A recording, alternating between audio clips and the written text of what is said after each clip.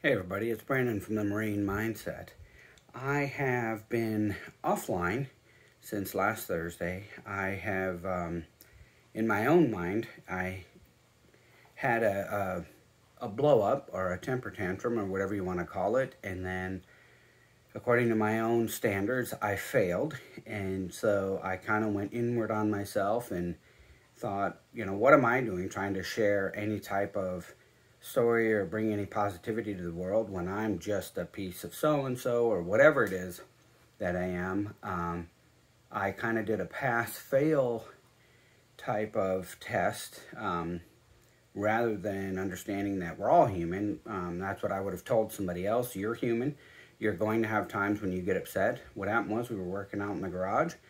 I was overwhelmed because I was trying to organize something and there was a lot going on and, and I just in my mind, I, I couldn't put it all together, so I went to my wife and said, listen, I'm really overwhelmed, and I just want you to know this. Well, then my son had a lot of questions. He was working on a completely different project, and he had a bunch of questions for me, which normally I love. I mean, that's what I want him to remember is that, you know, dad was always there to answer questions.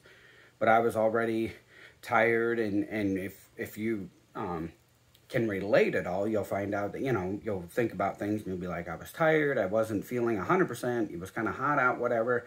Um, I was overwhelmed. I probably should have said, I'm only going to do one thing right now. I'm either going to just focus on helping my son or I'm going to tell my son, listen, I just need to get this done and then let's talk about your thing. Well, I felt like my son was giving me a lot of attitude. Um, I and, and he admitted that, you know, he was a little bit frustrated as well.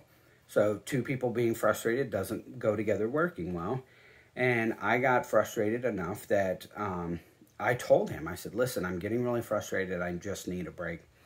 And he heard me. He admitted that he heard me, but he didn't see his actions as doing anything to add to my frustration. Well, then I picked up this thermos and I threw it on the ground and I looked at him and I pointed at him and said, stop, don't do this anymore. And I got really angry. Didn't get violent or anything, but he felt scared, which is a really crummy thing because I don't want anybody to ever be scared of me.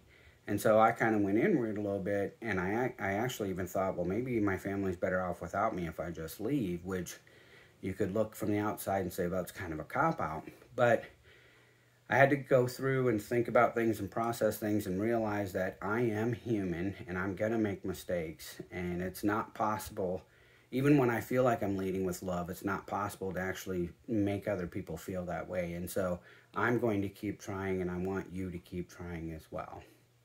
Dream big and lead with love.